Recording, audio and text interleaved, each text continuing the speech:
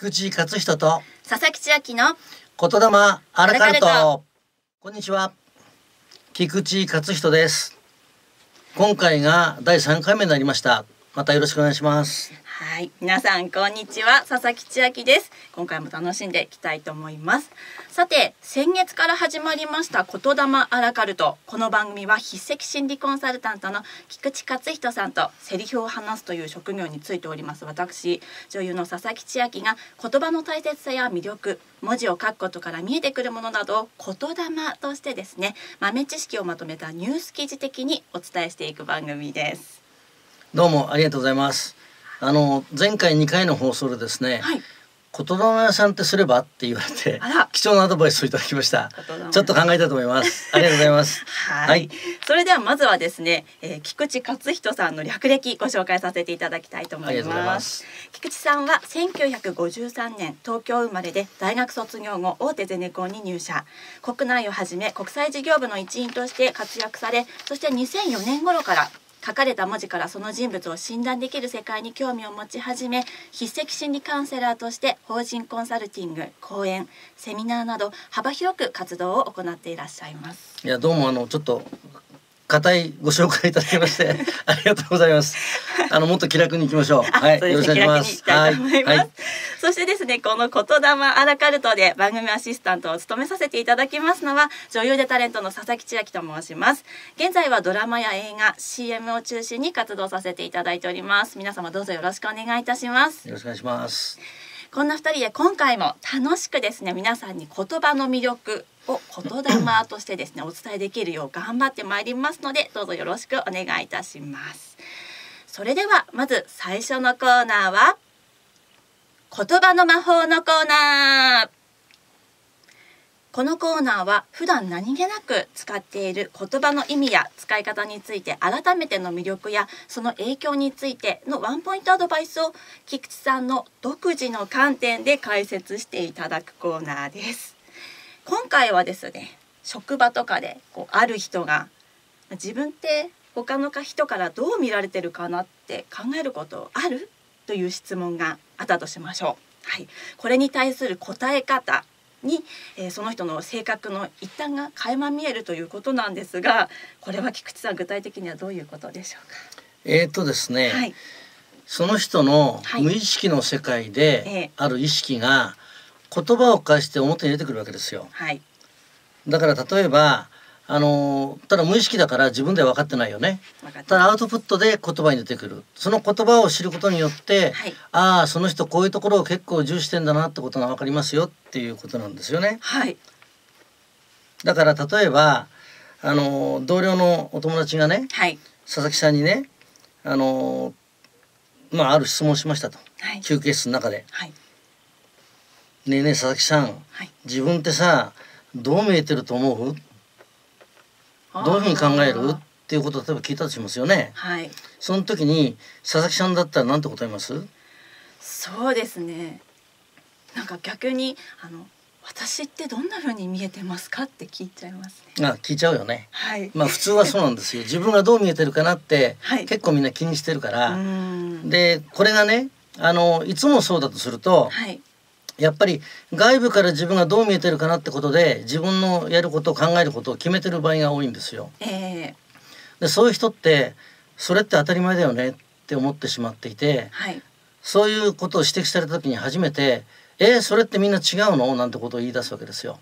おなるほど。要は意識してないはい、見方をしてるわけで自分の中では当然と思っていたりするよね。うん、そうですでね。今おっしゃったように、はい。い、や自分がどう見えてるのかなってことを気にするっていうのは結構あの多いんですけども、はい、いわゆる外的基準って言うんですよ。外部の基準で見てる。だから外部の人どう見えてんのかな。これ言ったら受けるかな。みんなどう思うんだろうっていうのに自分の軸足がある人。はい、でこれがあるということはその反対もあるわけですよ。はい、これは内的基準って言うんだけどえもう極端な例言うといいんですよどう思われたってってやつだよね。私はこれでいいと思うんで、はい。いいんです別にっていう人いるでしょ？ー、そうね。こういう人は はっきり言うと、はい。外部の評価なんかもうどうでもいいの。それはあなたあんあの彼らには分かんないんですよっていう感覚です。私はいいんですそれでっていうのがはい。反対ですね、内的基準ですね。だからそういう人は私ってどう見えてるかなって質問自体をしません、そうなんですね。こうねどうしても人の目が気になっちゃうんでしょうね私は、ね、そうそうそうそう。だから自分の中にはい。そういう人って結構信念を持っていたり、はい。自分の強いこだわりを持っていたりうん。私はこれでいいんですっていう世界を自分の中に持っててはい。その基準に従ってやるんですっていうことを、まあ、しょっちゅうまあ出してる人ですよね。ああそうなんですね。なんかすごく私としてはやっぱりこううれ羨ましいここもまた羨ましいっていう言葉がね 出てしまうところではあるんですけれども、うん。やっぱりこう自分の考えを貫き通すっていう方ってそうですね。う素敵にあのだからこれがやっぱりり状況によって違うんですよね。だから仕事をしてる時にはい。やっぱり上司からどう見られてるのかなとか部下はどう見てるのかなってことを気にする人もいるだろうしはい。でもその人が常にそうじゃなくてはい。自分の好きな世界とか自分が没頭する世界ではな関係ないよいいですよっていうことをやるかもしれないしこの辺は目的によって違います、出方が。あなるほどうん、だから簡単にこの人はこういうタイプだねってことはちょっと言えないと思います。うーんそうですよね。あのーまあもちろん今の例の中で言うとそういうそうそうそう。ふうにくくりねあの区分けができるというところですよね。だからよく社内なんかではうんうん結構外的な基準を持った方がはいリスクは負わないっていうのははい知恵としてあるかもしれないね。なるほど批判の対象になりにくいっていうかね。そうですよね。また来た場合を考えながらご自身のねこうあの私もですけどあの発言をちょっとチェックしていただけたらいいかなと。いわゆる世渡りみたいなテクニックでもあるんだけどさ。そうですうん、ね。そんなのもあるかもしれない。はい、は今回もですね本当にあのとても興味深いと言いますか本当に参考になりました木口さんありがとうございますいいえありがとうございます。はいよかったよかった。はい、なおですねこのコーナーでの菊池さんからのアドバイスは、まあ、あくまで情報提供としてのものなので、まあ、一般的にこうよく使われる言葉とか去年から出てくるフレーズなので聞き逃さないように注意していただくとともにこう何気なくね使われている言葉の裏側にある、まあ、その人の意識を言葉からこう探って見極めていくことで、まあ、相手とのより良いコミュニケーションがねあの取れていくのではないかなと思います。そしてこれはですね他人ばかりではなくて自分自身を知ることにもつながっていくスキルですがあくまで参考にねはい。していくものであって断言するものではないということだけご注意ください。はい、皆さんはいかがだったでしょうか？はい、何気ない言葉や言い方でその人の心の奥底にある意識が隠れているのかもしれません。まさに言葉の魔法です。次回も楽しみです。以上、言葉の魔法のコーナーでした。千秋のマンスリーソング。さてこのコーナーは私佐々木千秋のお気に入りの楽曲をこの番組の放送がある2回とも1ヶ月を通してかけさせていただくコーナーです今回はグリーンさんの奇跡を選ばせていただきましたはい菊池さんはい。グリーンというアーティストをご存知ですか？すみません。詳しく分かんなくてごめんなさいそうです。よね。あの日本のあの4人組のあの音楽グループなんですけれども、うんまあ福島県の出身でして、あのグリーンのそのメンバーというのが、うんアーティストさんすごく売れているアーティストさんなんですけれども、皆様それぞれ歯医者さんと音楽を両立聞いたことあるなそれ。はいされているはいはいなんですよ。で顔を一ええ切こう出さないということで。聞いたことあります。あります。はいはい。話題になっていたんですけええれども。ええそうでしたね。はいはい。今回この選ばせていただいた「奇跡」という曲なんですが、まあ、2008年の発売で、まあ、10年前ぐらいの曲になるんですがあの高校野球を題材としたテレビドラマの主題歌としても、あのすごく有名になった曲になっていましてでもう一つあ、まあ、あのちょっと理由としましては、うんこの JR のですね郡山駅の新幹線のホームでうん。この発車メロディーがあ素晴らしいね。いうことでですね、はい、ちょっとあの発車メロディーにすごく引っかかりを覚えましてうん。今回選ばさせていただきました。で、まああの高校野球私すごく好きなので、うん。まあ時期的にももう間もなく夏の甲子園が始まるなーなんてねうん。予選が始まるなーなんて思い思いまして今回選ばさせていただきました。素晴らしい。改めまして先月から始まりました新番組「言霊アラカルト」担当は？菊池勝人と。佐々木千秋です続いてのコーナーは字は体を表すのコーナーですさあこのコーナーは筆跡心理コンサルタントの菊池さんが文字の書き方によってその心理などの分析についてその字体を見る時の簡単なワンポイントアドバイスをしていただくコーナーです。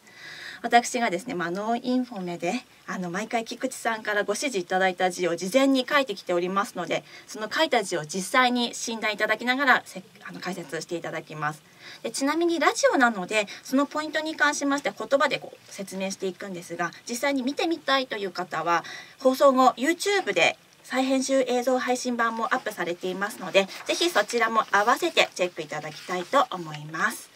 そして詳しく勉強してみたいという方はですね、ぜひ、えー直接菊池さんの事務所株式会社オーライアンと検索いただきましてご連絡ください。それでは菊池さん、早速ですが、今回はですね、はい田んぼの田という字を書いてくるようにご指示いただいたので書いてまいりました。はいありがとうございましたはい、とてもあのドキドキしましたよ書きながら。はい はい、早速診断の方お願いいたします。じゃあまずですね、はい。えー田んぼの字のはい。第1画目の縦画と、はい、第2画目の横画の要は左端の上ですね。ええ。左端の上をつけて書く人とはい。離して書く人がいるんですよ。この部分ね、はい。この部分。あのあのいわゆるそうですね。左上ですね、はい。左上の直角の部分なんですが、はい。これをつけて書く人というのははい。これ教わった字をそのまま書いてるんだよね。ああ、子供の時に教わった字を。その通りでございでます。話して書いてる人ってはい。自分で勝手に話してるんだよねあそうでしょ？あ、そ。その判断が一体何が違うのってことになるわけですよええでこれをつけて書いてる人って、はい教わってる通りを書いてるわけではい。基本的には教わったルールがあるんでしょ？それはちゃんと守りたいよねっていう気持ちがとっても強い なるほど。あるいはね。現在から見て過去を見て、はい。やっぱりその中で一番正しかったことってあるよね正しいものってあるよね、はい。生き残ってきた方法ってあるよね。それをよく学んで、はい。一つのルールなり、はい。約束事として守っていこうよって考え方が強いんですよ。どそうですね。う、ね？はい。だから佐々木さんみたいな方は今までにないものをはい。全く新しいことを考えてよって言われたら、はい。まず非常に苦痛なのとうん。すぐに質問したくなるのは分かりましたけどはい。やっちゃいけないことを教えてくださいって聞きたくなる一個のルールが欲しいんですよ何かルールが。はい。そうですね。あの何かこう軸がないとどこをテーマにしてたらいいか分からなくなっちゃうんですよね。あなたにとってはある何でもいいから決まり事をやってはいけない禁止事項でもいいんだけどそれが一つの軸なんですよ。はい。でもそうじゃない人はそこに軸を求めてないんですよね。自由にやっていいんだってことはもう何でもありっていうことでそこにそもそも軸を求めてないっていう人もいますよね。まあ信じがたいと思うけどあなたの考え方から言うと、はい、信じがたいです、はい私からしたら。あの全く新しいものを作ってる連中というのは結構そういう方々が多いですよね。ああ、なるほど。うん、過去は過去、ねこれからはこれからっていう考え方ですね。ああ、柔軟な感じですね。あとはもう一つは、はい右側の角の部分ですね。そうですね。二画目の角のところですね。はい。右側の上の部分の角、はいこれを結構カクッと書いてるんですよ。はい。直角直角にもっと鋭角に書いてるんだけども、はい。ここっていわゆるペンを動かしてる土地の行動の途中になりますよね。そうですね。ここはその人の行動の傾向を表すと言われてるんですよ。まさに字からわかるように。なるほど。ということは。これは教わった通りはいカクッと書いてるでしょ？はいということはこれも同じようにいわゆる決まり通りちゃんとやろうよという気持ちがとっても強くて突拍子のない行動に出たり、はい。えー、どうしたのっていうような行動に出ることはまずないです。あ、そうなんですか。うん、だから行動だけを見てると安心、あうーん、安心でも別に新しいものを作り出す行動はしないあんまりあ。なるほ確ど。実で確実できちんとしたことを守るのは得意だと思います、そうですね。得意です。そこはもう間違いなく得意だと。ただそれ以上ぐっと鋭角に鋭角っていうか直角以上にはい。多分これ80度ぐらいになってると思うんだけどもそうですね。その字を書くと結構ですね、行動に独特の癖があるかもしれないあなたの行動そのものに、そうなんですか？うん、だからあなたらしい行動をはい自分では無意識の中で出してる可能性もある、親御さんとか昔からの友達は知ってる可能性があるそのことこういう時ってこういう行動をするよねとかってことは知られてる可能性もあるね。じゃあもう本人が気づいてないけど周りは知ってるかもしれない。ですね。へーであとこの四角い角のはい。左の下。左のピタッとついてますよね。はい。ここねこれこれこれ、あはい、うん。あの左の一番下ね。一番下の線はい。ですね、一番最後の線を引く時の書き始めのとこなんだけど、はい。これがピタッとついてるじゃない？はい。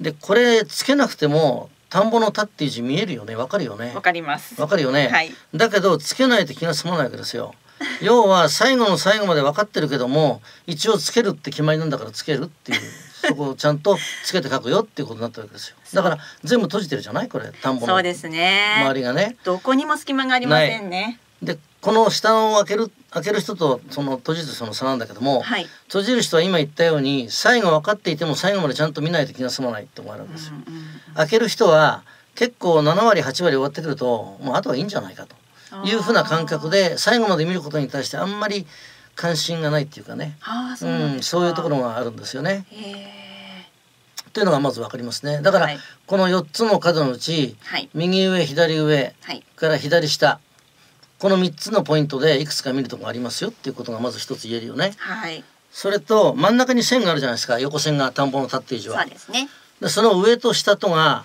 本来であれば同じ感覚のはずなんだよね。はいでも佐々木さんの場合はちょっと違うじゃない？真ん中に引いてないでしょ。あ本当ですね。下の方が狭いよね。はい。これははっきり言うとまあ一本横に引いてりゃいいんだよねっていう感覚が強いわけですよ。あここはそうなんですか、うん、これを本当に真ん中にかける人もいるよね。そうですね。この人は無意識の中で調整をしてるんですよ。自分の行動を。真ん中に書くべきだよね。ってことをやってるんですよ。ああなたの場合は真ん中に書くべきだよねって思いもあるけれども、はい。まあそれはそれとして 要は自分の気持ち感情こういったものを結構重視するとこあるんですよ。はい。したがってさっき言った行動傾向とか物の考え方が決まり通りに従っていながらはい。自分の内面では結構いやもっと出したいな自分のことをとかうん自分がやりたいことがあるんだよねとかはい。こんな気持ちをもっと表現したいなってこととのはい。葛藤があるはずなんです。しょっちゅう自分の中で 言っていいのかなでも言っちゃいけないよなとかね。はいこの場で言ったら絶対良くないよなとかね。そんなことを考えながらはい。やってるところがちょっとあるんだよね。まさにここに出ちゃってるんですね。隠しながら。もどうどうですか？そういう話。そうですね。結構あの葛藤の中にいるなと思うことは多いですね。やりたいけど今言ったらいけないじゃない？かなとかね。結構気使ってんだよね。そうなんですよね。ついつい出ちゃいますね。であとね面白いなと思うのは、はい。この字が下が下すぼまってるでしょこの字はね。下の方が短いんですよ。どっちかというと台形を逆さにしたような逆の台形の形になってますよね、はい。見て思うのはちょっと不安定な感じがしません？字の形自体が。そうですね。バランスは良くないね上のも大きくて下が小さいでしょ、はい。要はこれがまさにその人の発想なんですよ。あなたははい。不安定な状態って結構好きで 不安定なことによって何か生み出す自分がいたりして、はい。エネルギーが生まれるんですよみたいなもっと分かりやすく言うと、えー。逆に言うと、はい。安定しちゃうと急にやる気がなくなるっていう やつだね。その通りでございます。安心しちゃって、はい。安定しちゃうともうもういいんじゃないの？という感覚なんだけど 不安定だと、はい。とにかく常に何かをやんなくちゃっていう自分を鼓舞するようなとこがあってそれを上手にエネルギーに使ってるんだろうなっていうのが分かりますね。そうですね。あのね。ありますね。安定しちゃうと途端にそうだよね。つまらんないなーってなっちゃうんですよ。だから例えば安定するとか、はい。安定するの嫌だとか、はい。不安定がいいとかあるいは自分の感情をもっと出したいと思う一方で、い、や決まりがあるし、こういうことしなくちゃしちゃいけないし最後まで見なくちゃいけないしっていう結構相反するものを持っていてその葛藤にいつも悩まれてるのかなって気がするんですよね。だからそうそうなってる何かの基準があるんだよ。あなたの中に。はい。これあなたにしか分かんない。その基準をもとにしてご自身で無意識で判断をしてると思うんですよ。そうですね。その無意識で判断してる部分をもうちょっと自分の中で突き詰めてみるとはい。あなた自身のことが分かる可能性があるね自分で。なるほど。そうそうですね。自分自身がわからないところというかね、向き合っていなかったところ。そうそうそうそをこうちょっと自分で見直してもらう、う。か外部から見るとさ決まりもちゃんと守るし、はい。あのやるべきことはちゃんとやってくれるしうんきっちりやるし結構よく見えるんですよ。はい。でもこれがあなた自身の生き方にイコールですかってことになってくるとこれはまたちょっと違う話じゃないのってことをまあ今言ってるんだよね。なるほど。そうそうそうですね。だからさっきの外的な基準と一緒ではい。どう見えてるのかなってことでうん。そういう自分を装ってるのかもしれないし本当はもっとこう違う自分を持ってるのかもしれない。なるほど。じゃあもしかしたら自分も知らない可能性がうん。出てくる？全部が全部分かってないかもしれかないね。もしれませんね。この字の中から読み解く感じ、からそれを自分でどの線を基準にしてこういうふうに考えてるのかな、こういうふうに考えてるのかなってことを自分の中で考えるチャンスとしてはい。使ってもらえるといいなと思います。あなるほど。なたにしか分かんないからこれは。そうですね、うん他の人には分かんないからいやー本当にあのこの田んぼの田という字から こんなにたくさんのことがわかるだなんて私はちょっと驚きでしかないんですけどあの本当にですね あの苦笑いというよりもあのこうねラジオという公共の電波なんですが 思わず素になって今聞いてしまっている自分に気づきました。まああの一文字でやるのはね、はいちょっと乱暴なので、うんこんな見方がありますよということで、はいあの聞いていただければいいと思います。何時か見ると、はいあやっぱりそうだねってことがわかるんだけど、うん一文字だと若干乱暴なところもあるので、はいそこは割り引いて聞いてもらってもいいですよ。わかりました。さあ皆さん いかがだったでしょうか？そうこのいろんな方とのねこのコミュニケーションを図る上でまずは己を知るということすごくまあ基本の一つだと思います。はい。でただこの筆跡診断に関しましてはあくまで筆跡から人の特性を読み取っているだけなのでその特性がいいとか悪いとかそういう判断をね行うものではないのでねあらかじめそちらはご理と解っても大事なところですね。はい、はいご注意をください。以上、字は体を表すのコーナーでした。皆さん、なんともうエンディングが近づいてまいりました。言霊アラカルトいかがだったでしょうか。この番組は毎月第2、第4土曜日お昼14時30分からお送りしますので、ぜひ次回放送も同じ時間お耳にかかりたいと思います。さあ、菊池さん、今回はいかがだったでしょうか？あっという間に時間が過ぎちゃいますねそうなんですよね。あのもっともっと話したいことは実は山ほどあるんですけど、はい。あのしょうがないよね。限られたものだからね。はい。あの、はいぜひまた次回もよろしくお願いします。よろしくお願いいたします。ありがとうございます。そしてこの番組ではお聞きの皆様のご感想、ご意見お待ちいたしておりますので、どうかこちらまでお願いいたします。ファックス番号零四七三零三三九七四零四七三零三三九七四。メールアドレスは fmu アットマーク fmu ドット co ドット jp fmu アットマーク fmu ドット co ドット jp 言霊アラカルトまでお待ちしております。それでは言霊アラカルト、えーこちらでまたです。またですね。お耳にかかりたいと思います。皆様のお相手は？菊池克人と。佐々木千明でした。ではまたお耳にかかりましょう